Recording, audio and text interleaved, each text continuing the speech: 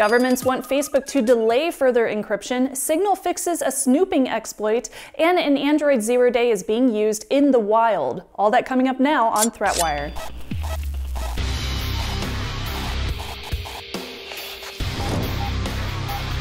Greetings, I am Shannon Morse. This is ThreatWire for October 8, 2019, your summary of the threats to our security, privacy, and internet freedom. If you are interested in supporting ThreatWire on Patreon, hit up patreon.com slash threatwire. It's because of the generosity of people that watch this show that I'm able to make it every single week, so thank you so much. Also, I have some big news. I am keynoting at the Texas Cyber Summit this weekend, and I would love to see you there. My keynote is on Saturday morning, and I will likely try to get a group together to go to a bar or two uh, this weekend on the San Antonio Riverwalk. So make sure to follow me. I'm at Snubs, that's S N U B S on Twitter for all the information and news and announcements. And now on to the news of this show. BuzzFeed News, of all places, obtained a letter written by several political figures to Facebook, cryptically asking Facebook to not implement encryption, but if they do, make sure that it has a backdoor, although they did not use the word backdoor. U.S. Attorney General William Barr, UK Home Secretary Priti Patel, Australian Minister for Home Affairs Peter Dutton, and Acting U.S. Secretary of Homeland Security Kevin K. McAleenan together signed an open letter to Facebook detailing these requests. This appears to be in response to a blog Mark Zuckerberg did back in March, where he explained some security and privacy changes Facebook was planning to implement. Facebook wants to make several changes, including making private interactions a foundation for the platform, broadening encryption and safety measures like end-to-end -end encryption, reducing permanence of data, and increasing interoperability, like merging private messaging platforms from Facebook, WhatsApp, and Instagram. Facebook also wants to build better secure data storage infrastructure, such as building data centers in countries that have better security standards. The letter seems to respond mainly to encrypting Messenger. Now, this fight has gone on for ages, with the US Department of Justice warning tech companies that they'd be going dark if end to end encryption was allowed. This isn't necessarily so, since end to end encryption would still allow a US company to turn over metadata about a user, such as timestamps, stamps IP addresses, location information, and who they converse with. Zuckerberg even mentions this in his blog. The letter, which can be seen in full via the BuzzFeed link, says, quote, We are writing to request that Facebook does not proceed with its plan to implement end-to-end -end encryption across its messaging services without ensuring that there is no reduction to user safety and without including a means for lawful access to the content of communications to protect our citizens. So they never say backdoor, but that's a backdoor, folks.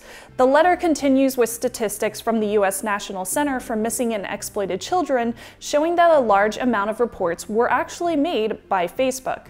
This is quite timely because it ties in nicely with a new agreement between the US and the UK that would allow for cross-border surveillance and data access between the two countries without barriers or restrictions, which could speed up cases from taking up to two years to only taking a few weeks or sometimes even just days. This is called the the CLOUD Act, which stands for Clarifying Lawful Overseas Use of Data Act. While the CLOUD Act does allow for data sharing, it does not allow for a backdoor. Requests must still be legal, and it does not require any tech company to delay, remove, or backdoor encryption. So how does a company help with lawful cases, protecting against predators online, while still protecting our right to encryption? Check out the link in the letter below. I would love to know what you think. On October 4th, Signal, the end-to-end -end encrypted messaging platform, fixed a bug that would allow an attacker to auto-answer a call they placed on a target device without permission from the owner. This means an attacker could snoop on the audio around a device without the target knowing. It works on Signal's app, which has audio calls built in. It does not work for video calls because the application requires the user to physically enable camera access when making a video call for the camera to actually work. This does not affect iOS users, just the Android Signal app. Natalie Silvanovich at Google's Project Zero first discovered the flaw and said the iOS app would not allow for the same vulnerability because an error in the UI during an attack would cause an uninspected sequence of states to occur. If on Android, though, an attacker could use a modified version of the application to dial a call, then press their mute button, which would initiate the call on the receiver's side. It happens after the attacker places a call and during the ringing state. If the attacker hits their mute button fast enough, the receiver won't even see an alert and the call will be picked up without their knowing. The Android app has a method called Handle Call Connected that makes the call finish connecting. This method is normally initiated when the receiver clicks clicks accept on a call and when the caller gets connected to the accepted call. That connect for the caller can be initiated early by the attacker with a modified version of the application. Signal replied to this attack saying the receiver, or the target, would see a visible indicator that a call was in progress on their phone, assuming that they are actually looking at their phone at the time. They would also see a record of a call being placed in the conversation list within the Signal app. Now, since many public figures, journalists, and security researchers use the Signal app, this is a call for concern, so luckily Signal did fix it quickly. Silvanovich's report was on September 27th, and Signal responded with version 4.47.7, which was released last week, which does have a patch. Before we hit story number three, I wanted to say thank you so much to my Patreon supporters. I am putting together the annual physical rewards for this year, so keep an eye on the updates on the Patreon page. Also, I want to start a security and privacy audio podcast as a part of the ThreatWire feed. That's my next Patreon goal, so if you want to help, check out my community. The link is in the description down below. And when you sign up, you will automatically get a physical reward after your first year of membership and every year thereafter. Also, a big thanks to our Hush Puppy perk level patrons for sending in their fur baby photos. I love them, so keep them coming. We have more Android flaws! Yay! Alongside that signal vulnerability was a zero day that Google disclosed on October 4th. Thanks to my patrons for voting on Friday's story poll for this headliner. This is a great story.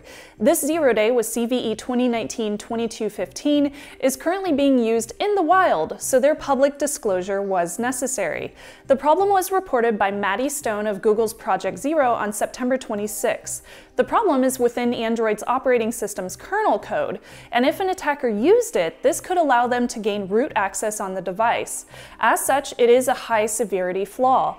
Strangely enough, this was first patched back in December of 2017 in kernels 3.18, 4.14, 4.4, and 4.9. Newer versions of the kernel were found to still be vulnerable, which means this affects phone models running Android 8 and later, including Pixel 1 and 2 and the XL versions, Huawei P20, Xiaomi Redmi 5A, the Note 5 and A1, Oppo A3, Moto Z3, Oreo LG devices, and Samsung Samsung S7, S8, and S9 phones. In total, 18 phones were tested and affected.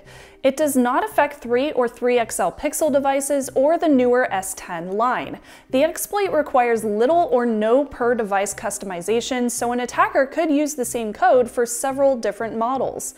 Google's Threat Analysis Group, which is TAG, TAG for short, believe that this is currently being used in the wild, likely by a state-sponsored attacker. They put their sights on the NSO Group, which is an Israeli-based company that sells surveillance tools to governments.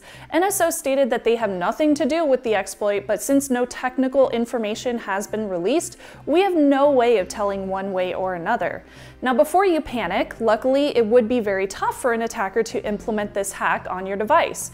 You would have to install a malicious application that used the exploit, and if browsing the web via a mobile browser, that would require the attacker to chain the exploit with additional hacks. Specifically for the Chrome browser, they would need to change the exploit with an additional vulnerability to take advantage of the way Chrome renders content. According to Stone, it's a kernel privilege escalation bug accessible within the Chrome sandbox. Older models listed, alongside any not tested or named by Google Project Zero, will receive an update in October. Android partners have also received a patch on the Android Common kernel. Developers usually get 90 days to fix issues that Project Zero finds, but if they discover an issue like this one is actively being exploited in the wild, vulnerabilities are pushed to be published a week after discovery. Mad props to the ladies at Google's Project Zero this week for finding vulnerabilities and making us a little bit is safer. Now before I leave, I would like to say thank you so much to Garn, Brandon, Torvos, Sneb23, Curtis, Brian, and David who joined the Patreon team this week. Thank you so much. Y'all are awesome. And with that, do not forget to like and subscribe. I'm Shannon Morse, and I will see you on the internet.